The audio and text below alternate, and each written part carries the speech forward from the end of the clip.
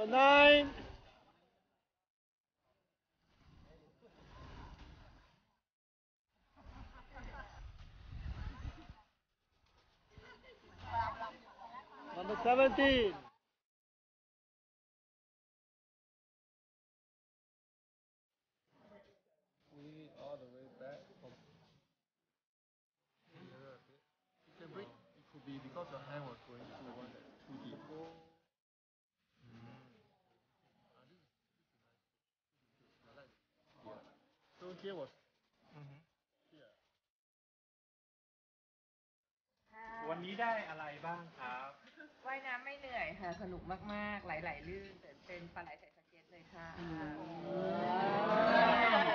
นะครับต้องสนุกมากค่ะ ไม่คิดว่าระยะเวลาสั้นๆ เนี่ย จะทำให้เราเปลี่ยนแปลงท่าว่ายน้ำได้เยอะขนาดนี้ ก็เหมือนกับไปโฟกัสที่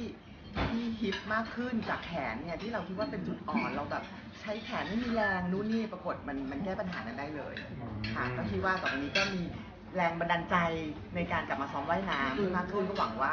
กลับไปก็จะพัฒนาขึ้นอืมค่ะจะเอาฟิตไลท์สวิมไปทำอะไรต่อครับ ก็คิดว่าจะเอาไปลงไอรอนแมนถัดไปค่ะอ๋อว้าครับ ลั่นอะไรออกไปอะลบได้ไหมคะ ดูเหมือน ตอนแรกมารู้สึกว่ามันเหมือน ครึ่งวันเองจะได้อะไรเหรออะไรอย่างเงี้ยก็ จริงๆเวิร์กช็อปว่ายน้ำมาหลายที่อะไรอย่างเงี้ยแต่ว่า